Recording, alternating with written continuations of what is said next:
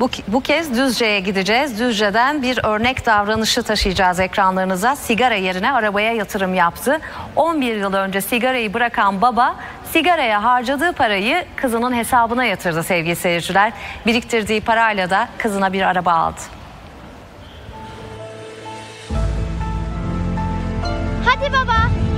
Sigarayı bırakan hem sağlığını koruyor hem de cebini. Düzce'de yaşayan Tanju Acar 11 yıl önce sigara içerken kazara kızının elini yaktı.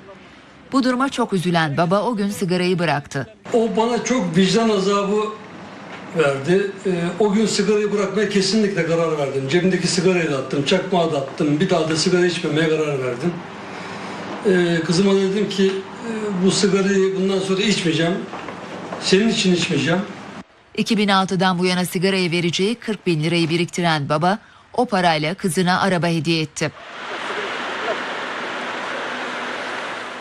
Sizin babalarınız da sigarayı bırakarak size böyle hediyeler yapabilir. Hem kendi sağlığı açısından hem size böyle güzel hediyeler vermesi açısından siz de babanıza sigarayı bıraktırabilirsiniz.